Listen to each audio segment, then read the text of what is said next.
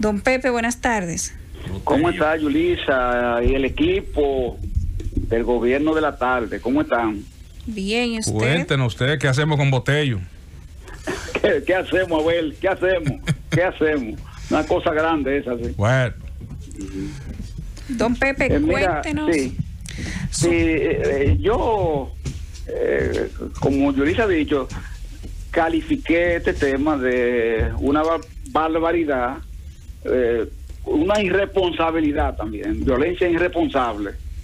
Porque usted coger para un congreso a romper una barricada policial sabiendo, sabiendo, porque Botello lo sabe igual que yo, cuatro los que están ahí, que se le puede zafar un tiro a un policía, matar uno o dos, no se sabe incluso de qué lado.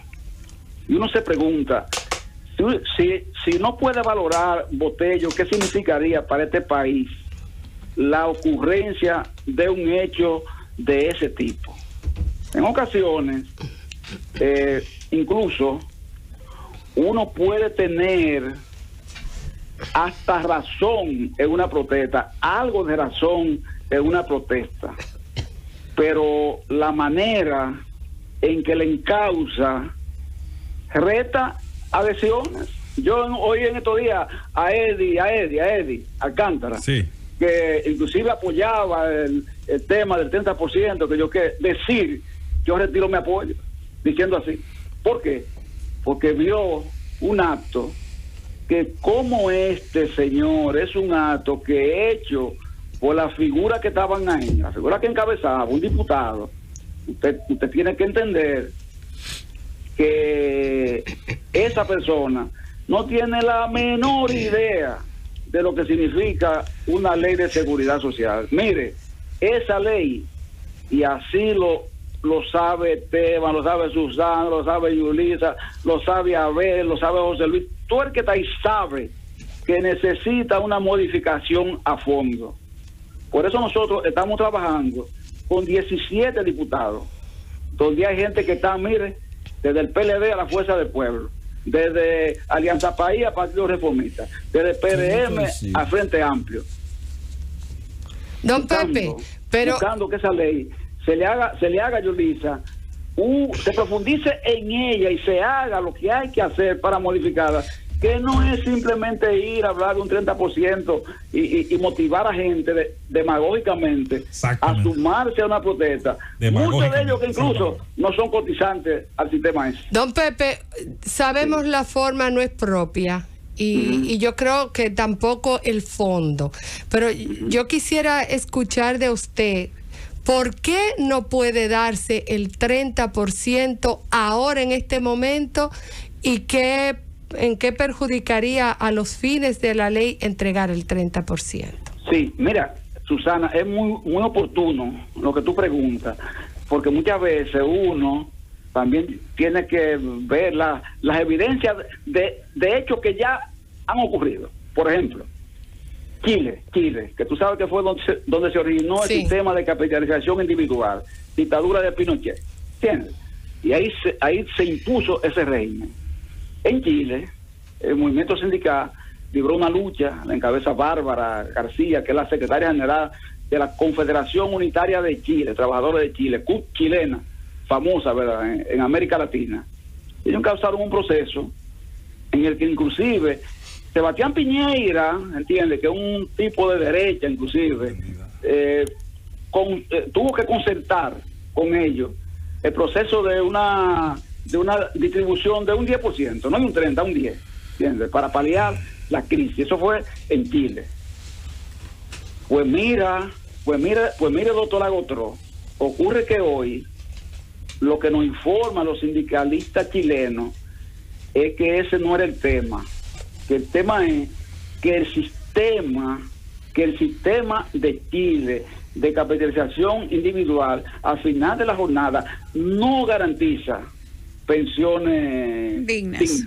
y que eso que ellos hicieron no fue más que un digamos así eh, aliciente a la pandemia pero que su tema es profundizar en la reforma al sistema. Con un solo ejemplo para venir aquí y decir entonces. Nosotros tenemos, por ejemplo, en el Congreso Nacional, ese anteproyecto que yo le, le estoy diciendo. ¿Qué decimos nosotros en ese anteproyecto? Nosotros decimos lo siguiente.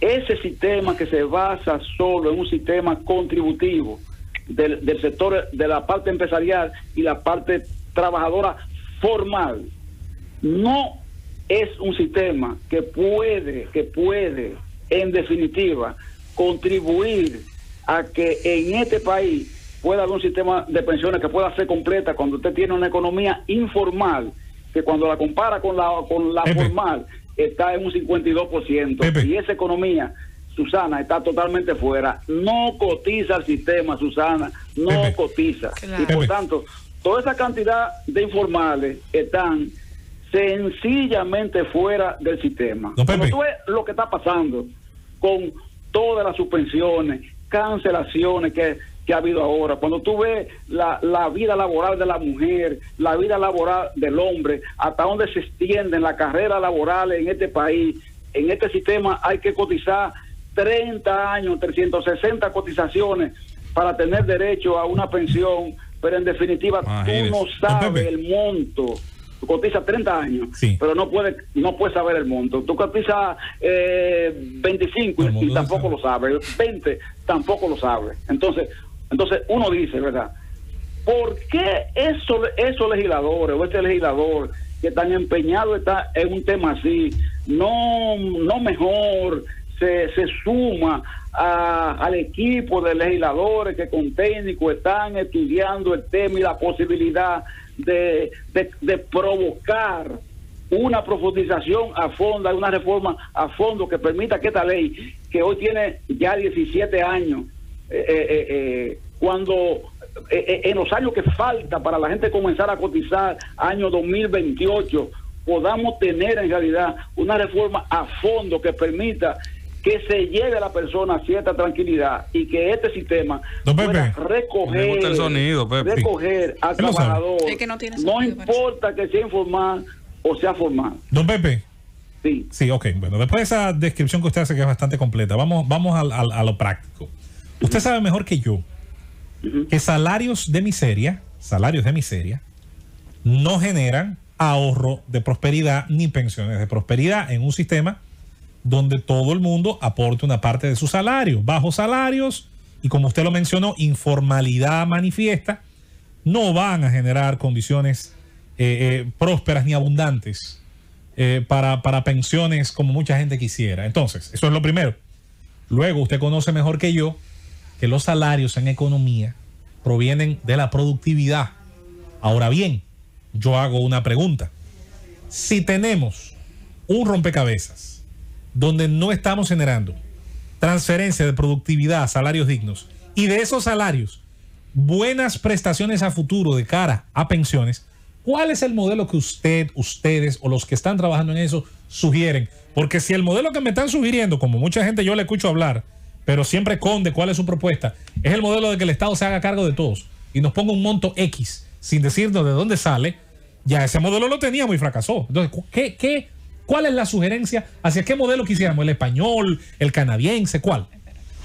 Exactamente, eh, exactamente José Luis. Uno no puede eh, eh, asumir el sistema de reparto clásico, ¿verdad?